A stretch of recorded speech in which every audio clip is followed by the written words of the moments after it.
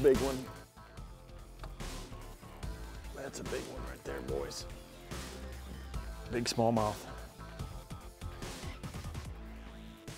You know, when it's slick like this, you gotta, you know, find a technique that you can be efficient with and these kind of hard head or, you know, football heads with the, that are loose. You know, Tommy Biffle made it really popular. Good, pretty smallmouth. And uh, this one's pretty cool right here because um, you can you can attach the hook to it real real quickly so you can change hooks. And then this is a new Rage Bug by um, Strike King. And what I really like about it is that everything is, you know, it's got those little Rage flanges even on the side there. And I mean, it just swims really awesome through the water, even at really slow speeds. But, you know, the main thing you do with this is, you know, you just cast it out there and you can fish it like a jig, but I, I just pretty much fish it like a crankbait. Just kind of cast it out, slowly reel along the bottom. You know, it's great for hard bottom, clean bottom areas, um, you know, where you can just cover a lot of water. You know, right now I'm just on a big gravel flat. It's the spring of the year. The fish are moving up to spawn and, you know, the conditions aren't, aren't perfect. You know, it's, it's cloudy, but there's, we're sitting here and it's slick calm. So this is something you can use when water's real clear and it's subtle like that. It's got a lot of action because that, you know, that head's bouncing around, making a lot of noise kicking around and that body's jumping around behind it. Uh, so it's a really great system. I'm gonna get one out and I'll show you how to rig it here a second.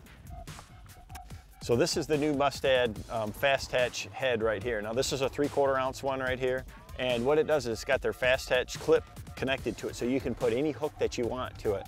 Uh, so you can match the size of the bait. You know, a lot of times um, if the water's real clear, I'll use a small profile bait, you know, um, uh, a little, you know, grub or something like that. And if it's dirtier water, I want to use a bigger uh, bait. So I want to use a, a, larger hook for that. So right now I'm throwing a, the new Rage Bug and you know, this 4-aught uh, Mustad grip pin hook works really good for that. It's the perfect size hook. So all you do is you just start that on there, run it all the way over um, the, the, the clip and it can't come off there. And again, that's gonna swivel on there and bounce back and forth. I'm just gonna rig my Rage, Rage bug on there. And again, the great thing about this is with that grip pin, once I slide that over it, it holds that right in place so it can't slide down. You know, I can usually catch two to sometimes four or five bass on each bait, so it's gonna save you a lot of plastics. Uh, you know, if you're not fishing in real heavy cover, I'm gonna leave that hook completely exposed on the other side like that. If you gotta throw it through some brush in that, you wanna, you know, you definitely wanna put it back in so that that hook point is, is down in the plastic. But that bait right there just has tremendous action as it's bouncing along the bottom.